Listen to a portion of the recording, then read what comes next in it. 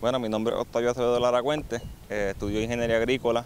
Mis eventos son 100 metros, 200 metros, el relevo 4x100, el relevo 4x4. Y representar el colegio para mí significa mucho, pues ya que es una de las mejores instituciones en el país y además pues me enorgullece ser parte de lo que fue una universidad que en un tiempo tuvo un reinado en el atletismo.